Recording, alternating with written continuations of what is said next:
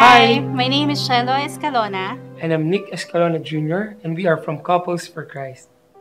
You know, this time of Lent can make our ties in the family stronger.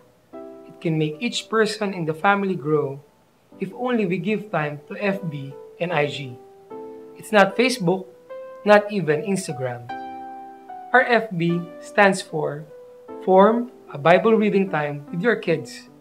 It is good to listen to our kids how they understand the messages they read or hear from the Bible.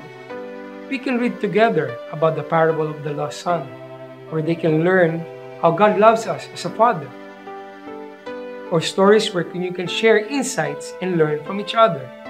It is very helpful for us as a couple to listen to our child's understanding so we can help them if they need help in appreciating God's Word.